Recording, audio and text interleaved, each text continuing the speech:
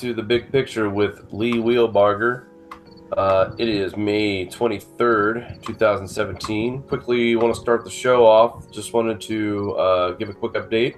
Our sun, current conditions right now, the solar wind speed is at 507.5 kilometers per second. Right now, it looks like we have uh, four sunspots uh, currently visible that are facing us. I know we were in a geomagnetic storm for the past couple days. It looks like we are finally uh, at the tail end of this, according to spaceweather.com. And Sprite season begins. And and Lee, uh, welcome back. Thanks again for coming out. Thanks for having me. I learned about Sprites because of you. Uh, I believe some point last year, maybe earlier this year, we were talking about them.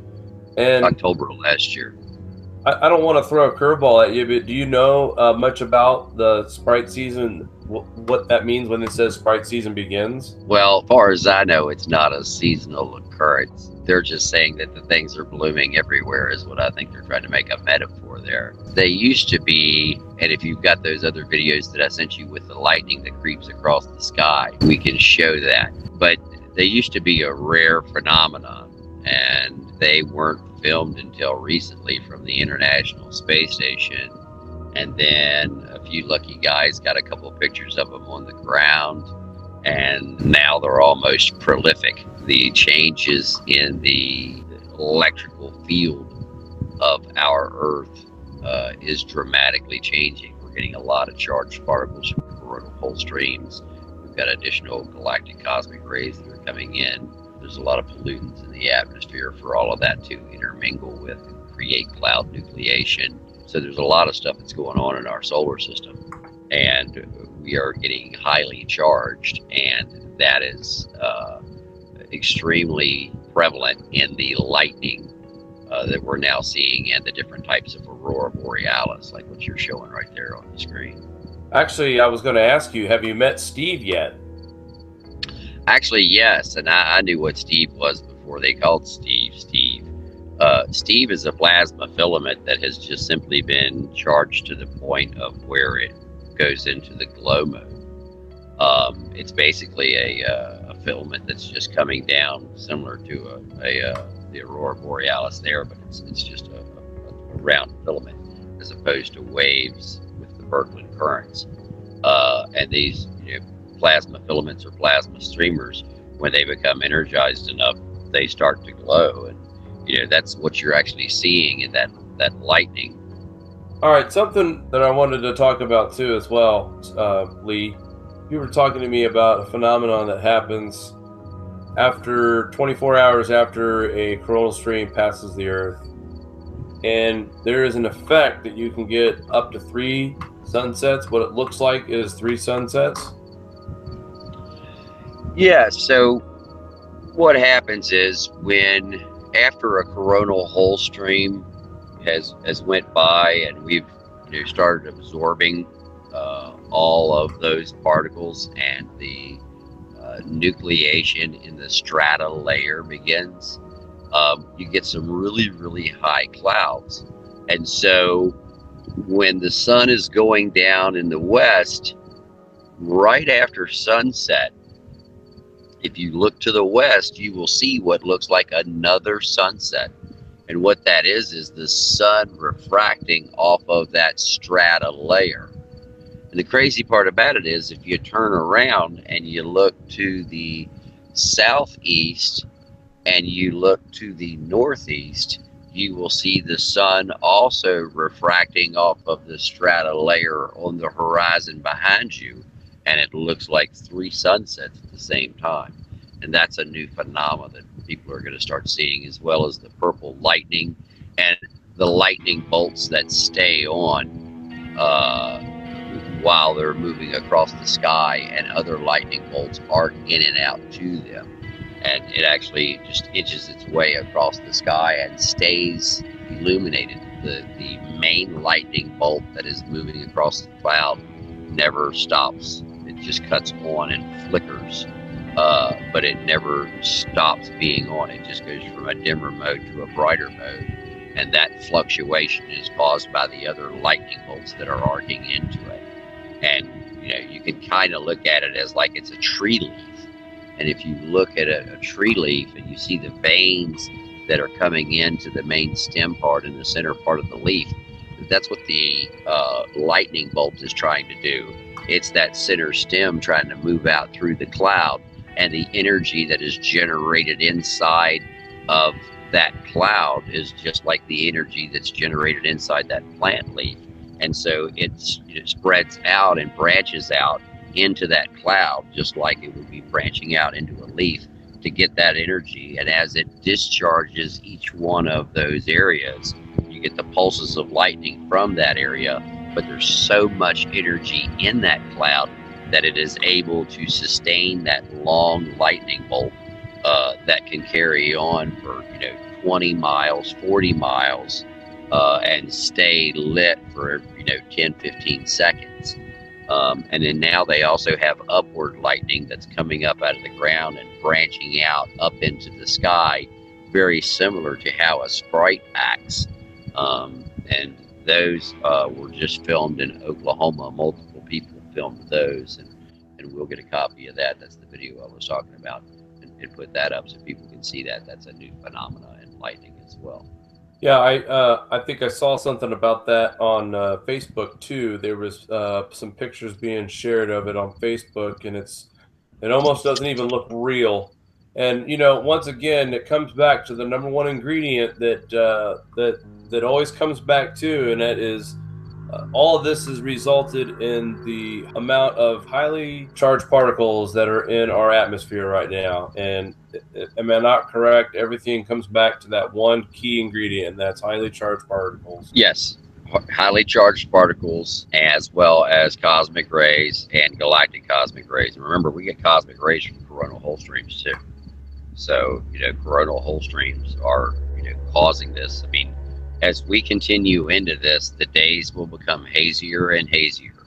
I mean, every day, you know, even on a clear day, take the sun and shadow, you know, get in behind a shadow and start moving out from behind the shadow and look how big the sun looks in the sky before you actually start looking at, you know, seeing the sun. And that's the haze that's in the sky, and that's going to continue to progress. And as that continues to progress, it's going to continue to get cooler because that is creating an albedo effect.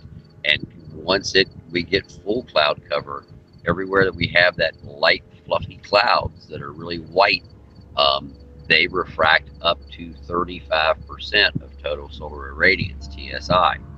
Also, when we have snow on the ground, that snow on the ground reflects uh, thermal energy by up to 90%. So areas where they have snow on the ground tend to stay colder so as that more snow can fall on it. And speaking of snow, if you look at the Sierra Nevadas, I think they're almost up to 80 feet of snow out there or something. There's it's well over 60. Um, and the average snowpack for May the 15th is 14 inches and I think they have over 600 out there now.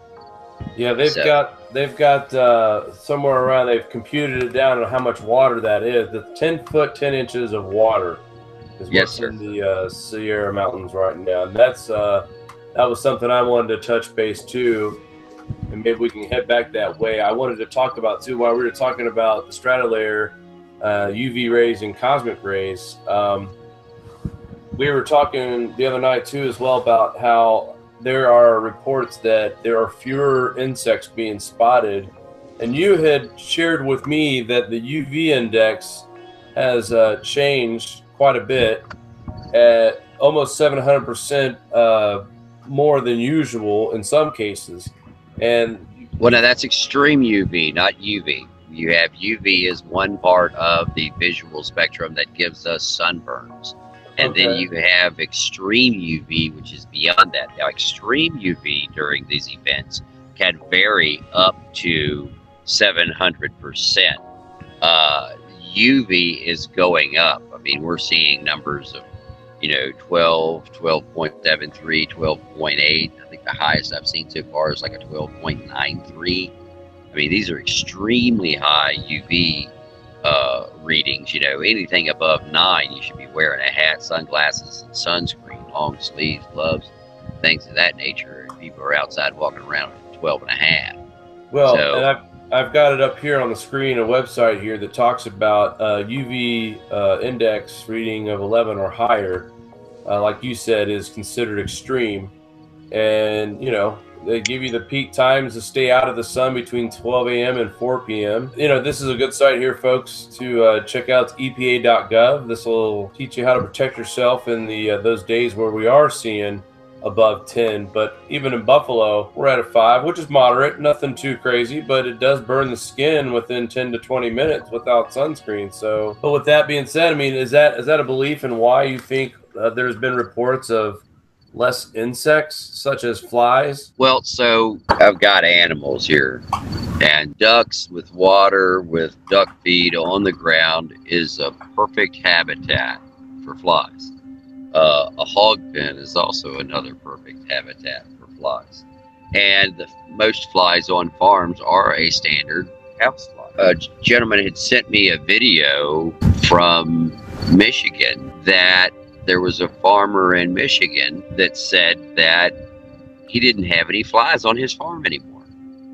You know, this guy's been farming for 40 years and he can't find a fly one on his farm anywhere. And so he goes out and he's going through the barnyard and there's no flies anywhere. And he goes out to where the ducks are and he's like, Look, here's the duck pen. Those are the ducks. This is the water.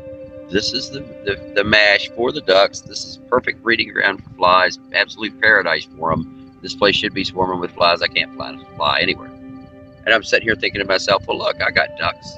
I'll go outside look. I know it'll see if I got flies at my place. Guess what? No flies. I'm looking all over. Not, not only can I not find flies, I can't find any ants either. And I've got ant hills everywhere. Can't find an ant one. So I'm like, what in the world is going on? So I went in and started doing research on the frequency of light that insects used to see, and they're in the upper UV at about 275 nanometers.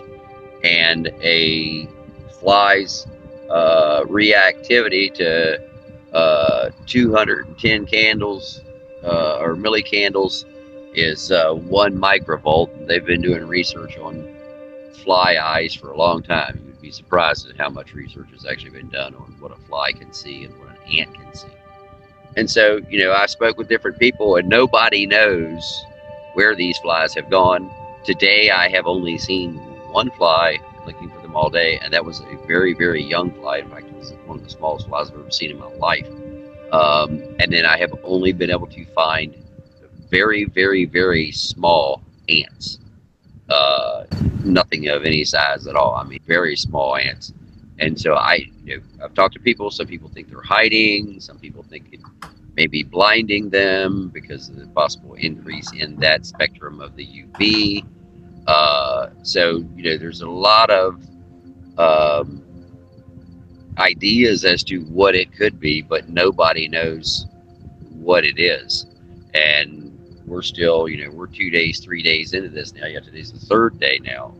Um, and we're still not seeing flies or adult ants. And we're seeing very, very, very few small ants. I mean, you know, in the whole day looking for ants, I might see 20, you know, and I'm out in the field all day. So something's going on.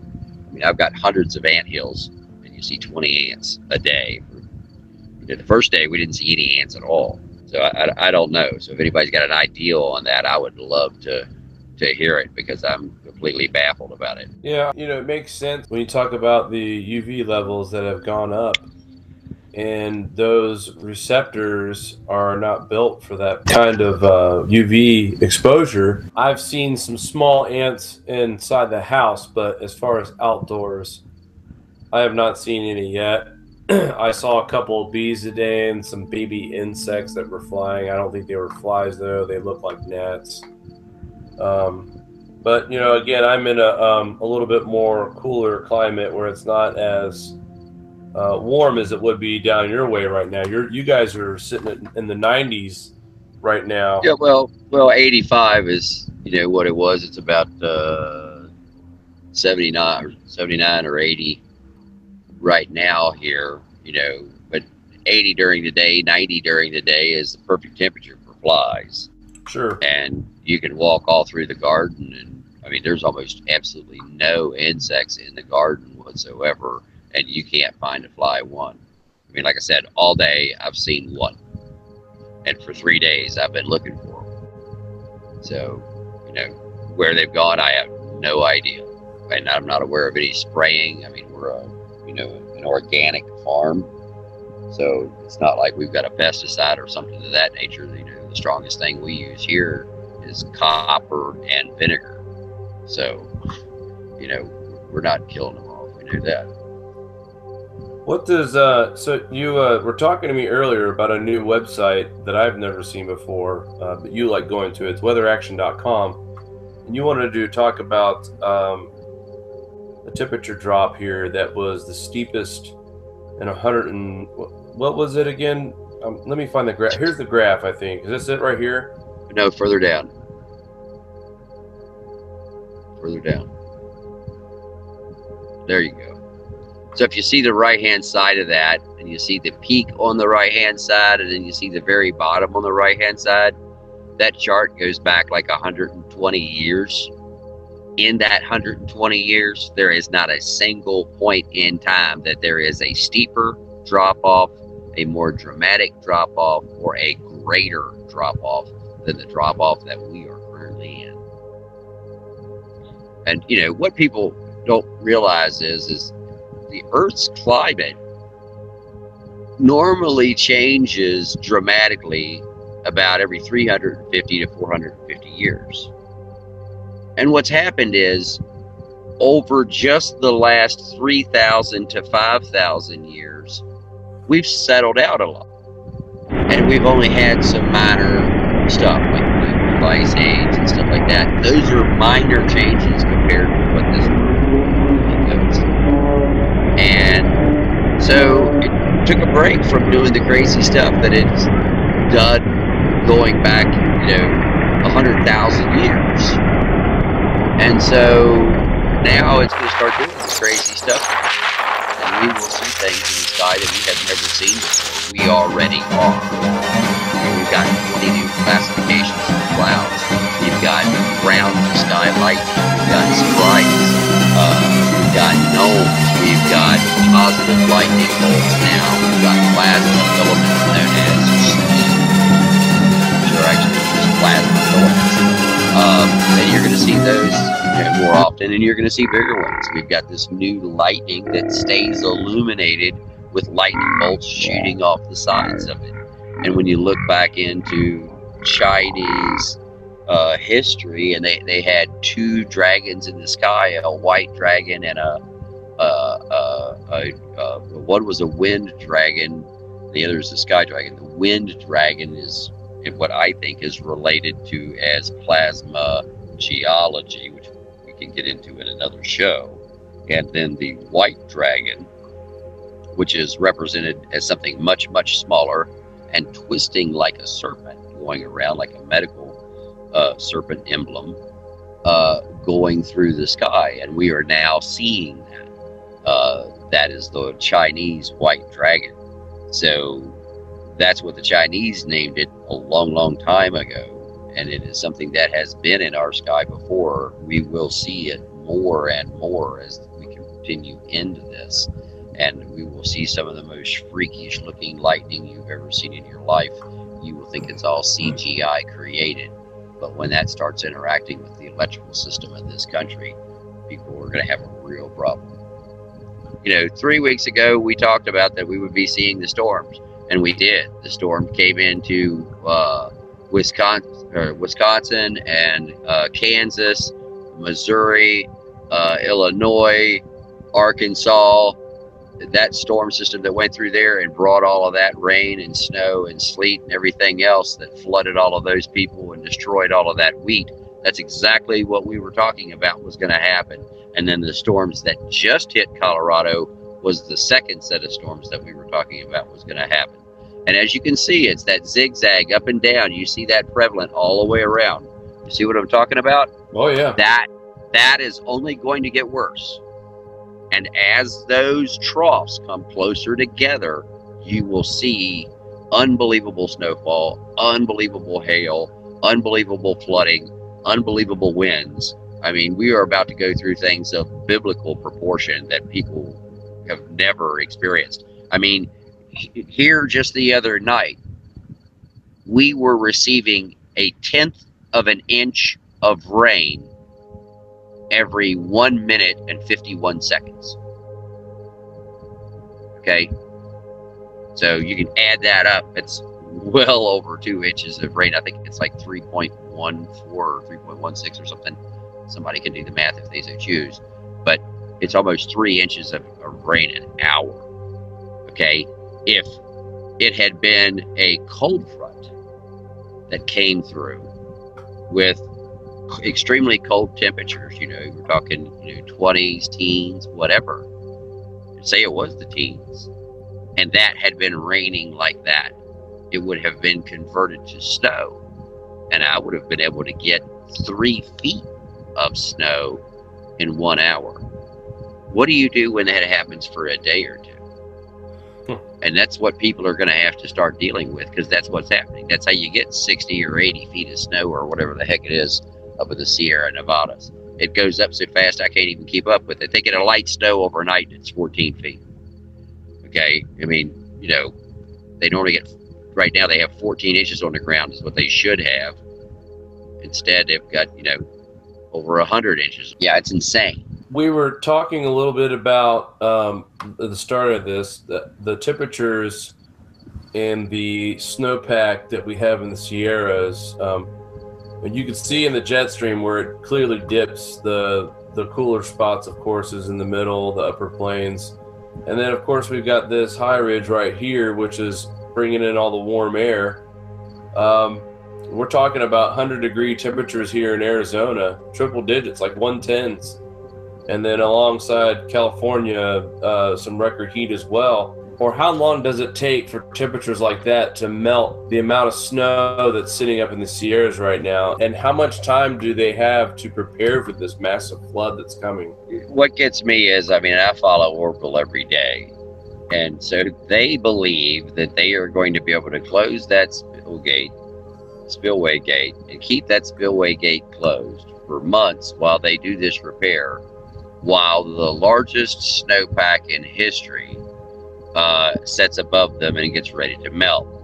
Now, with the melting of it is going to depend upon the altitude because the temperature changes as you go higher. Of course, it gets cooler, and if you have any cloud cover. But what would really be devastating is if they had a warm rain uh, coming down with it, and that on a you know a hot day with a warm rain uh, coming down would really be devastating to them. But uh, they are going to get significant runoff, and I am fairly certain that they are going to have to open that gate again.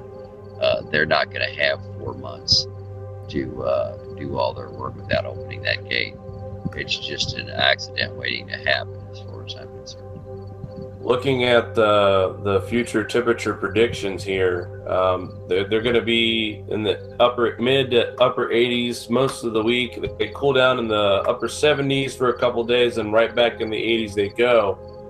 So with that kind of temperature, and if they do get any precipitation, um, that would that would spell terrible disaster, in my opinion. But it looks like, you know, looking ahead, Lee, thankfully, we don't have a lot of um, water vapor or any kind of moisture on the west coast right now. Yeah, but it's uh, it, it, there is so much water up there. I mean, we're talking was it ten foot, ten inches? Yeah, ten foot, ten inches. Right. Okay, for all of that area, they have already got flooding in Nevada from this. Mm and you know most of the lakes up there are already very very close to full. I mean the majority are well over 90% some are as high as 97 um, you know so uh, they're going to have issues. And the it's already been calculated that the uh, canal system they know what the flow of the canal system will handle taking it down through Sacramento all the way down to the San Francisco Bay. Um, and they've already done the calculations and they already know that they will not hold that. And uh, the amount of water that's going to be coming down, it's not within the budget. And there's already been calculations made saying that between four and 5,000 acres are guaranteed going to be flooded when this stuff starts melting. So, you know, they can try to play it off as long as they want, however they want. But the fact of the matter is, when you've got 10 foot 10 inches over an area the size of the Sierra Nevada mountain range, and that's all got to come down through a canal that's maybe 100 feet wide, uh, there's going to be a problem somewhere. Well, it's like, you know, my biggest curiosity is how long, do, I mean, you know, looking at the, the temperature rise here this week, uh, luckily, there's no rain, but I mean, do you know a timetable when the temperature stays in these uh, current readings? How well, long? we're getting we're getting into that now. That's the thing. We're coming back up. We're not unseasonably warm in California right now, and so you know that's why they normally only have 14 inches on the ground right now, as opposed to 80 feet. Yeah, that's so you know, so now when it does warm up, you know, there's a whole lot difference between 14 inches of snow, which is, and basically uh, a little over an inch of water. Okay. So normally they would have it because, uh, you know, an inch of rain will make about a foot of snow. Okay. So if you look at it where they normally have an inch and a half of rain on the ground or you know an inch and a half of precipitation on the ground. And now they have 10 foot 10 inches. You, you know you can see the difference. And it's it's going to be a bad thing. I mean those boys have their hands full and then some trying to deal with this particular incident I don't know. If I had family living out there, um, I would invite them to come stay with me right now, just because I, I just, you know, we've talked about this uh, for the past few months. Uh, Oroville has stayed up somehow. I know you thought that it wouldn't get with the current condition that it was in. Um, you you didn't think it had a chance in hell to withstand as long as it has, but uh, with that much water, it, it's going to be a domino effect. And, and, and praise to the gods that there is no rain right now on the West Coast. And looking at the future cast here on precipitation, um, this is the this is probably the quietest that I've seen as far as uh, precipitation and storms in the entire year of 2017. This is actually the quietest I've seen. Well, they're going to get more precipitation out there. I mean, it's not like uh, California is going to cut off the spigot and they're not going to get any rain.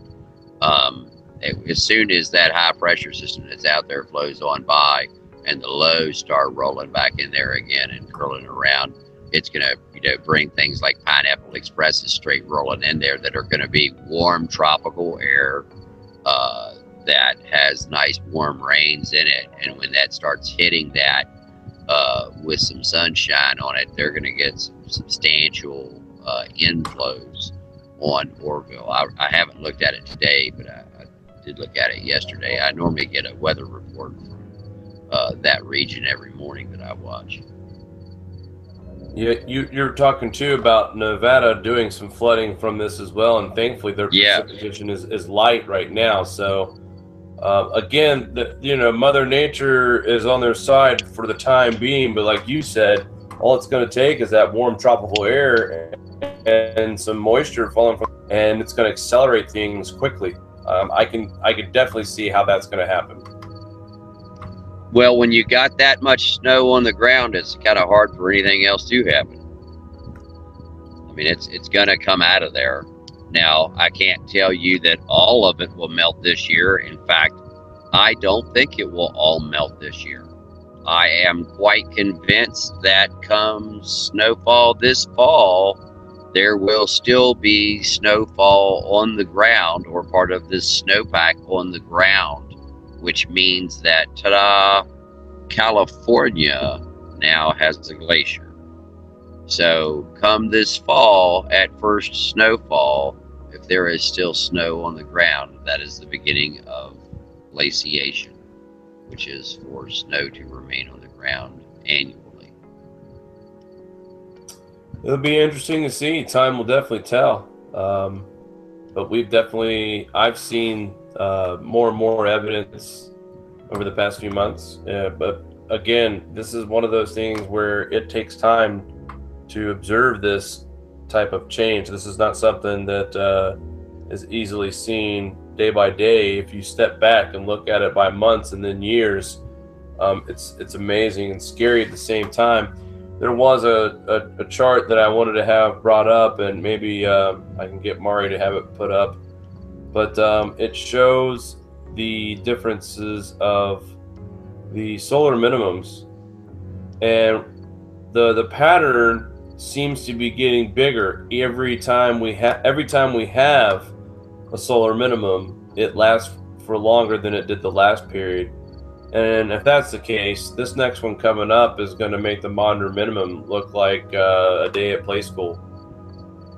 Correct. And if you look at the trend on that chart going from the left to the right don't so much look at the peaks. Look at how much deeper and wider the troughs get as you go from the left to the right. You'll see that they're kind of shorter and not so big up on the left hand side, but as you move down into the right hand side, you'll see that they get deeper. So if you follow, you put a line across the bottom of those troughs, and then you just imagine where that is going over to the right, that's where we're going. So it's twice as deep as the Maunder minimum. And when you look at how the sun does these things, you look at it, it, it loves this half and quarters view. So if you look at the number of sunspot counts, well, each year we cut it in half. So you go from 150 to 75, and now we're at like 36. You look at uh, how the um, the the TSI is falling how the uh, temperature uh, is coming down. If you look at the bottoms of each one of those dips there, you will see that we basically double each time we come down. So we go down twice as much in degrees as we did the time before. And that's why I'm saying this time we could easily see 8 degrees Celsius. So here we are again. We're going to talk about the segment of um, tips here, things that we could all use in uh, an emergency, case of emergency, whether it be uh, power grid goes down, whether it's uh, solar related or not. Um, Lee and I want to try to bring, you know, some some helpful hints, some things to get by if you need some lighting. Lee, we were talking about uh, a really affordable option on uh, having lighting. If you would, could you go ahead and enlighten the viewers on what that was? Yeah, so what we have is it's just a small little unit. It's a little bit bigger than, say, maybe a deck of cards, if that big. Has a solar panel on the top of it, a little plastic uh, stake that you set out in your yard.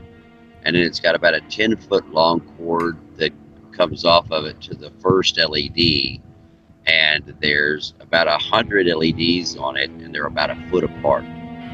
And so what we do is we just let them set in the sun and be charged all the time. And then if the power goes out, uh, we just string them from one room to the other, and they light up the inside of the house enough so is that uh, you can get around through the house no problem at all, and you don't have to have candles, and it recharges off the sun. And so if you're without power for an extended period of time, it will actually recharge each day and then come on in uh, that night. And the ones that we have have uh, two options. They either flash or steady burn. I highly recommend that you get ones that have a steady burn capability to them.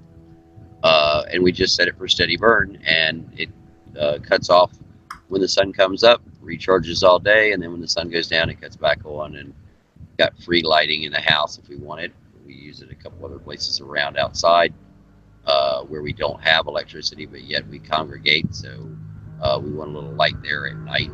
So they work great for that. The units that we purchased were like only eleven dollars. Uh, we have numerous sets of them, and they work marvelously. So that is an easy way to have portable power. You can put them in your car and just you know have it your back deck or whatever to charge them up, and uh, you can have them in your house, whatever you want to do, and leave it out there permanently. And then when you do have a power outage, you, all you have to do is uh, push the button on the bottom side of the solar panel, and it cuts the lights on, and they'll operate automatically from there on out. And you know, this is a great idea. Like I said, uh, these things can be strung in your like these uh, separate strands to to light a room. Take an entire strand, but also it's easy enough to just stick out the window and hang the solar panel up where it will capture the sun and just run the the wires from the whatever where it's hanging on the gutter into the room. Um, you know, these are these aren't permanent solutions, so temporarily it's not going to hurt if you do that for a temporary uh, period of time, it's not going to pinch the line too much running it through the window. So it's it's not even a matter of where you have to start drilling and uh, and you know professionally install them. But um, so just something quick that we wanted to throw at you guys, just some ideas that you know when you're in a pinch and we need light, these things are affordable enough, and if you set aside some money to budget every now and then pick up a couple things that are going to be useful for you in case of emergency, whether it's a hurricane or a blizzard or just a really bad severe thunderstorm that knocks out the power in your neighborhood. All right, folks. Well, Lee, thanks again for coming out again. Uh, we appreciate your information and your time. Not a problem. Thanks for having me. I really appreciate your effort. Thanks for tuning in and watching, and we'll see you guys soon.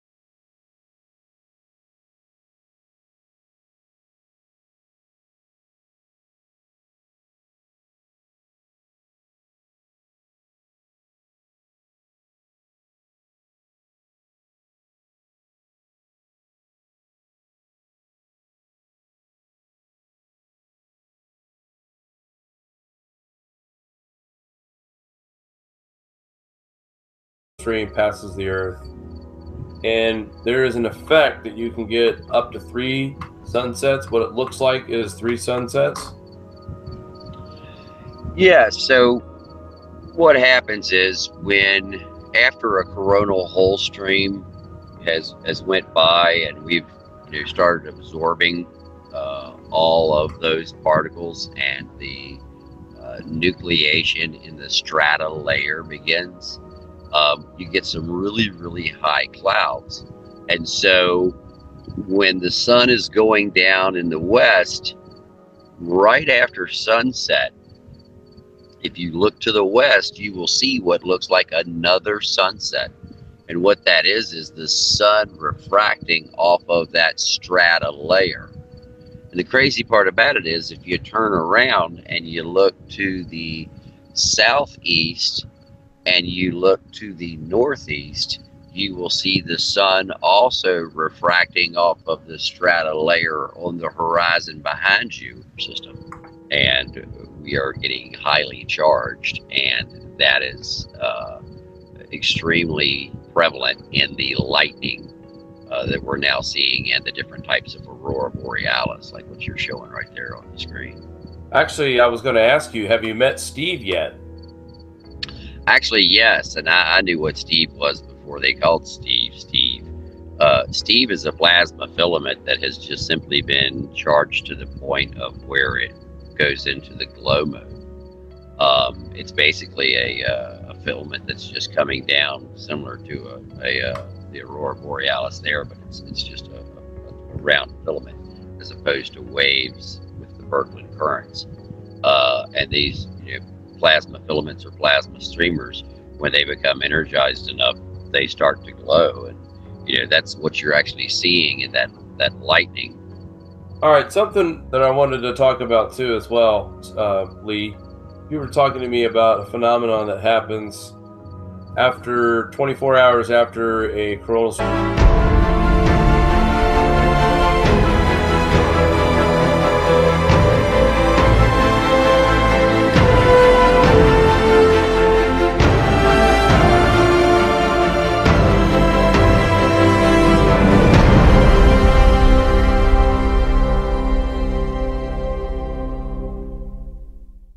Welcome back to the big picture with Lee Wheelbarger.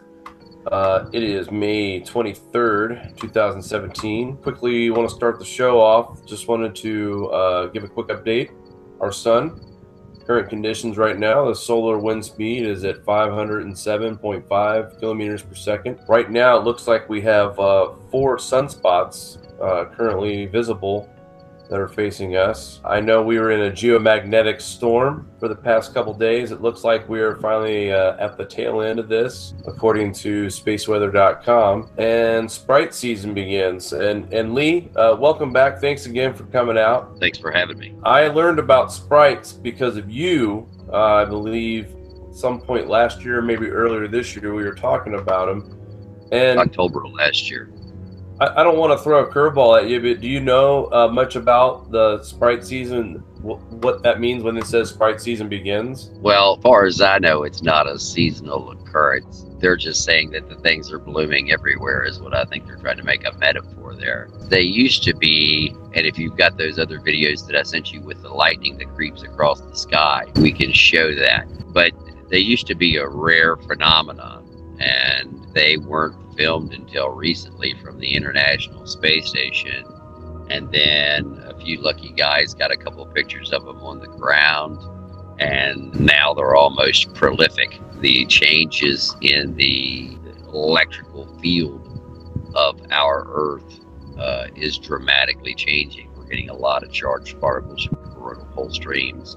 We've got additional galactic cosmic rays that are coming in there's a lot of pollutants in the atmosphere for all of that to intermingle with and create cloud nucleation.